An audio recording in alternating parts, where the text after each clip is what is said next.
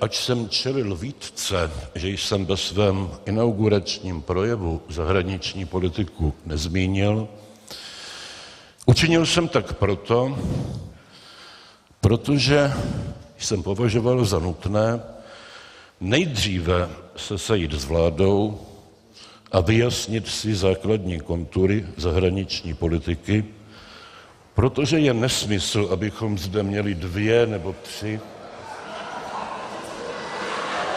zahraniční politiky.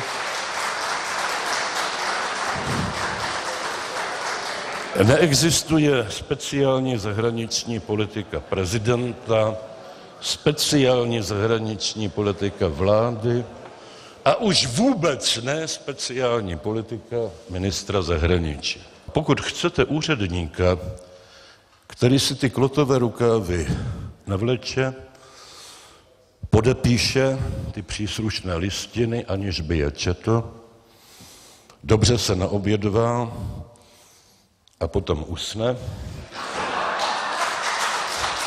tak jste si měli zvolit někoho jiného. Děkuji vám za vaši pozornost.